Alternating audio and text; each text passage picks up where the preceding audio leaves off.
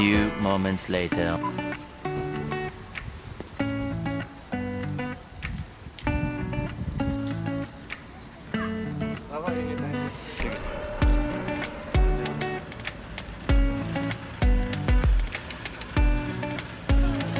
What's up guys? This is King R and welcome back to my channel. At kung pa lang sa channel ko, don't forget to like, subscribe, and hit the notification bell para updated ka lagi sa mga videos. For today's vlog, dito tayo ngayon sa Sejong City, Chungcheong Namdo. Mamasyal po tayo dito and then magsha-shopping. So, let's go! The Sejong Lake Park is Korea's largest artificial lake, which is 62 times as big as a soccer field and has 3 meters of average water level.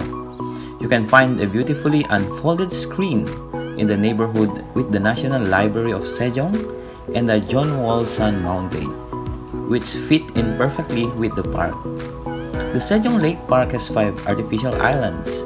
The Festival Island as a place for various festivals, the Stage Island that can boast of being the best floating stage in Korea, the Pool Island that associates with the seashore in the city, and the Waterflower Island and the Marsh Island with various water plants and ecological marshes, plus a trail and a bicycle road near the lake can be a place for Sejong citizens to have a leisurely and relaxed time.